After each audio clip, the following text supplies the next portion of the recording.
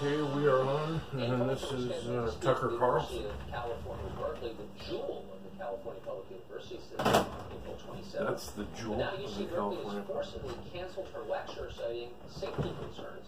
This is the yeah. third time this year protesters and rioters have denied conservatives an equal chance to speak at Berkeley, which is, as we said, Sounds like she's gonna have a speech school, there. Nominally subject to the First Amendment. You think so anyway.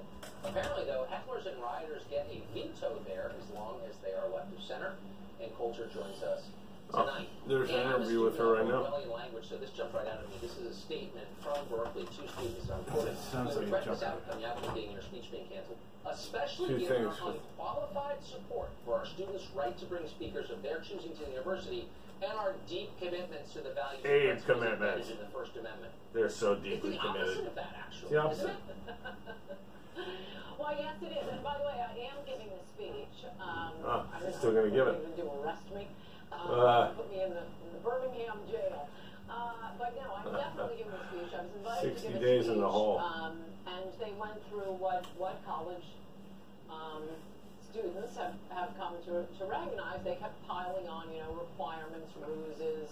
Um, you can't speak in the evening. You have to speak, speak in the daytime when kids are in classes. We're not sure which room you're going to use. We won't tell you to the last minute. demands. We have to exclude everyone um, except students. And although the groups kept, kept encouraging me to say, you know, this is unfair. They never do this to liberals. I kept They don't saying, ever do it to liberals. I'll do it. I'll do it. Okay. Okay. Okay. Okay. So I agreed to all of their demands, and then wake up this morning and they send out a letter saying how much they love the the First Amendment and freedom of speech, and they're so committed to it. But we're just canceling her anyway. Like Tucker Um, I do that- have what's So when they mean canceling her? They're canceling. That means they're not allowing you to speak there. These supporters of the First Amendment.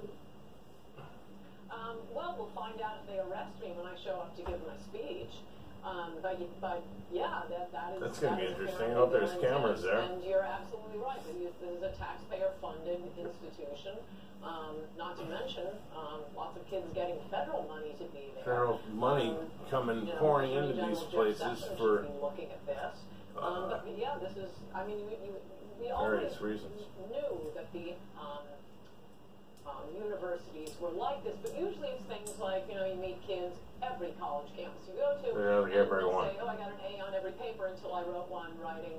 Um, you know, defending concealed carry, and then I got an F. So we're it's always not stuff like this. we're putting You the could screen get something we're purer.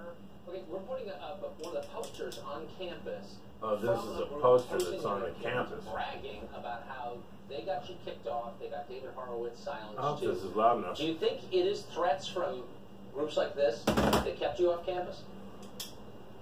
Um, I think it's the faculty Oh, and the the faculty, administration. I mean, it was two student groups that invited me. One was the college Republicans. One was, as far as I know, a nonpartisan group that just invites speakers. I think they were Right. embarrassed about what happened um, with Milo, and they wanted to show, oh no, we can we can have another speaker. And I, I, I, I mean, I think you have kind of a pure case of it here. I, I love like it. Milo, but I'm not Milo. I'm a 12-time New York Times best-selling author. I was Hello. writing about, or I was planning, or I will be speaking on um, the topic of um, my second to last New York Times bestseller, registering at number two. If that's speech that the university, I mean, forget changing, saying that I just speak in the middle of the day. I said okay. You said okay. They said so only on students. what grounds I did they said cancel okay. you? There And what, it what was is. their justification exactly?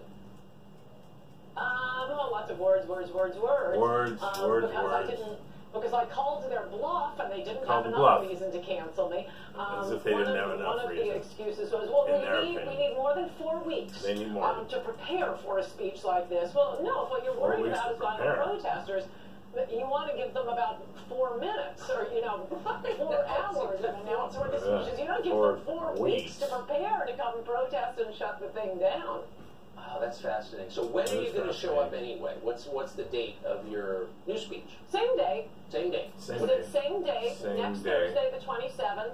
Um, um, Put I'm not down. sure if I'll do it in- in the daytime as they have requested, or do it when you know Nobody normal wants to speakers, do it in the daytime. i.e., you know, corrupt Latin American rulers like Vincente Fox are allowed to speak.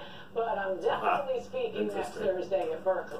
Vicente Fox. Wow. All right, we'll be following it. Hopefully, We'll we'll be cameras following there. Good luck, Ann Coulter. Good luck. Thank you. Up next, Europe has taken in millions of migrants in just the past few years. Some say it isn't I'm going to upload that video and show the handful of times that Ann Coulter, 12 times New York Times best-selling author, repeats like everybody else on TV.